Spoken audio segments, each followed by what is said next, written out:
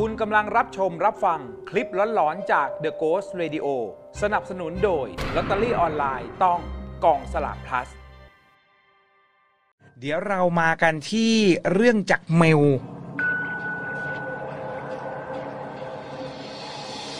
ไม่ได้เคยทำอะไรให้สบายใจเลย เข้ามาแทนที่จะพร้อมลุกไปทำอะไร ปรับเก้าอี้เอาปรับไว้มันเตี้ยไป ตัวตัวเท่าลูกหมาคุณแจ็คเออสวัสดีค่ะสวัสดีน้องเนยโลกชัง ก่อนหน้านี้เราก็ระทึกขวัญไปแล้ว กับการอ่าให้เขาคุม OBS เออสองวันวันนี้เป็นไงบ้างการคุม OBS เมื่อวานผิดสองรอบอ่าอ่าวันนี้ผิดรอบเดียว แสดงว่าดีขึ้น ดีขึ้น ให้กำลังใจตัวเองนะ ใช่ แต่เพราะฉะนั้นอ่าครั้งต่อไปต้องห้ามผิดอ่าถูกต้องไอ้น้อง เอาเอาไม้ตรงปากเอาไม้ตรงปาก อ่า โอเค อะเนยเคยมาเล่าเรื่องจากเมลแล้วใช่ไหมลูก ใช่ค่ะ อันนี้เป็นครั้งที่เท่าไหร่ ครั้งที่สองสามครั้งที่สามแล้วเหรอสามค่ะอ๋อโอเค เพราะฉะนั้นมันไม่มีความตื่นเต้นแล้วไม่จริง อะ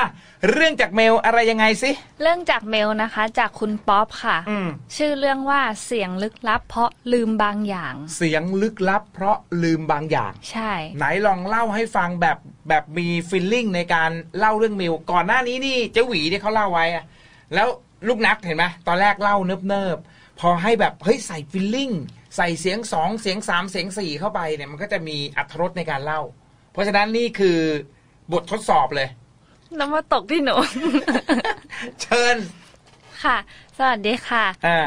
ชื่อเรื่องก็คือเสียงลึกลับเพราะลืมบางอย่างใช่ไหมคะอ่าจากคุณใช่ป๊อปใช่คุณป๊อปบอกว่า เป็นประสบการณ์ตรงของเขาเองเลย ที่อืมจะมาเล่าให้ฟังก็คือ ช่วงหนึ่งของคุณป๊อปที่จะต้องไปเรียนต่อที่ต่างจังหวัดอะค่ะอืมแต่โดยปกติแล้วอะคุณป๊อปเขาจะเดินทางแบบไปกลับอืม ซึ่งเนยคิดว่าน่าจะเป็นจังหวัดที่ติดกรุงเทพเลยแหละ ถ้าเขาเดินทางไปกลับไปกลับได้ทุกวันก็ไม่ไกลไม่ไกลใช่ไม่ไกลใช่อืมแต่แล้วคุณป๊อปบอกมีวันหนึ่งอะเขาต้องเหมือนกับว่าใกล้สอบใกล้ส่งงานนะคะทำให้ต้องอยู่ทำงานกับเพื่อนเนี่ย จนดึกอืมแล้วพอดึกเขาก็เลยแบบไม่อยากกลับก็เลย ขอคำปรึกษาขอคำแนะนำจากเพื่อนๆว่าแถวแถวมหาลัยเนี่ยอืมมีที่ไหนพอจะพักแค่แบบ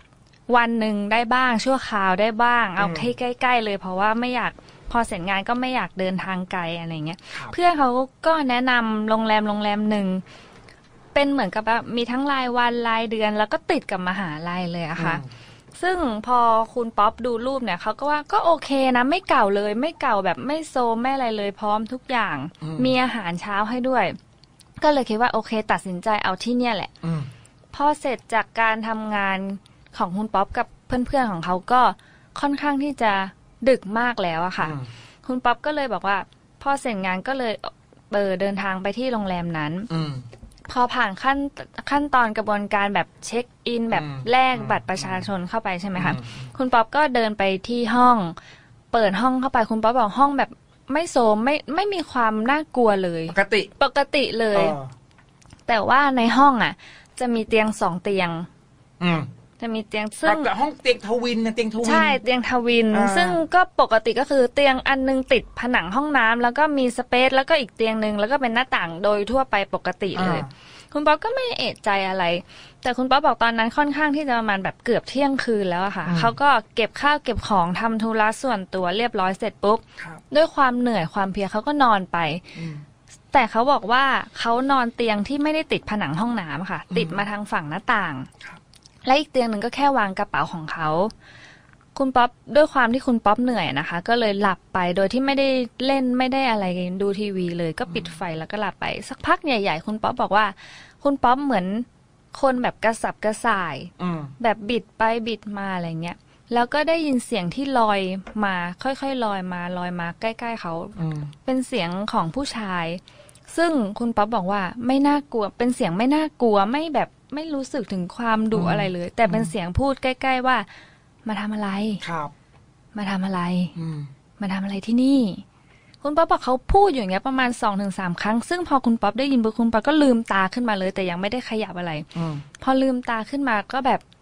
นึกขึ้นได้ว่า เอ้ย มันจะมีเสียงได้ยังไง เราก็ปิดทั้งหน้าต่างเออปิดทั้งประตูเออออะไรอย่างเงี้ย มันจะเสียงอะไรทำให้คุณป๊อปลุกขึ้นมาเลย แล้วก็ นอนต่อไม่ได้แล้ว คุณป๊อปก็เลยบอกว่า ตัวเขาเองอะด้วยความที่นอนต่อไม่ได้แล้ว ก็เลยเลื่อนเตียงที่อยู่ฝั่งหน้าต่างมาชิดกับอีกเตียงหนึ่งเลยทำให้เป็นเตียงเดียวเลยทำให้เป็นเตียงเดียวเลย แล้วก็เออแบบเอาของในกระเป๋าเขาอะมาวางวางวางวางวางอ่าแล้วเขาก็นอนอืมเตียงที่ติดผนังห้องน้ำแหละอืมแล้วด้วยความที่เขาบอกเขานอนต่อไม่ได้จริง ๆ อะเขาก็เลยแบบว่า นั่งเล่นนั่งไปสักพัก แต่มันยังมืดอยู่อืมแล้วเขาก็เลย โอเคข่มตานอนต่อ พอเขาข่มตานอนต่อแต่เขาบอกเขายังไม่ได้หลับนะคะอืมแต่แค่หลับตาเฉยๆพยายามข่มหลับสักพักเขาก็ลืมตาขึ้นมาอีกอืมแล้วก็นั่งเลยแล้วเขาก็บอกว่า ว่าแล้วว่าลืมอะไรอืมเขาลืมสวดมนต์ลืมแผ่เมตตาอ๋อ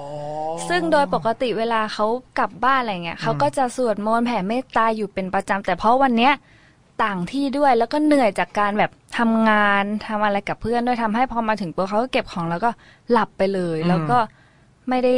แบบลืมสวดมนต์อืมลืมสิ่งที่ทำทุกคืนเขาก็เลยมาทวงเช้าซึ่งคุณป๊อปบอกว่า พอคุณป๊อปนึกขึ้นได้อย่างนั้นนะอ่าเขาก็สวดมนต์แผ่เมตตาแล้วก็หลับต่ออข่มตาหลับต่อจนมาตอนเช้า อะ ก็ไม่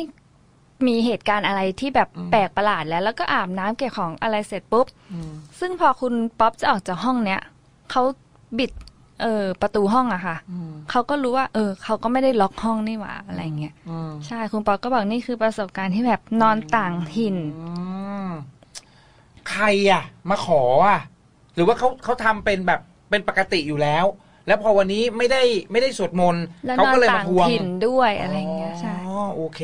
แสดงว่าเห็นไหมผีหรือว่าวิญญาณเนี่ยเขารู้นะ ว่าคนเนี้ยจะสามารถทำอะไรให้เขาได้บ้าง เช่น ถ้ามาติดต่อกับคนนี้ เดี๋ยวคนนี้จะต้องทำบุญให้ ถ้าปรากฏตัวให้คนนี้เห็น เดี๋ยวคนเนี้ยจะต้องทำบุญอุทิศส่วนกุศลให้ เหมือนกันใช่เขาอาจจะมีบางอย่างรู้ว่าคนเนี้ยเขาเป็นคนที่สวดมนต์ประจำเขาเป็นคนที่เฮ้ยชอบทำบุญเว้ยมีบุญมีเอบุญอนะครับ ทุกวันเนี่ยเขาจะต้องทำบุญวันนี้เขามาที่ฉันฉันจะต้องให้เขาสวดมนต์เพื่อเพิ่มบุญให้กับฉันแต่วันนี้เขาลืมฉันก็เลยไปเตือน ลืมอะไรหรือเปล่า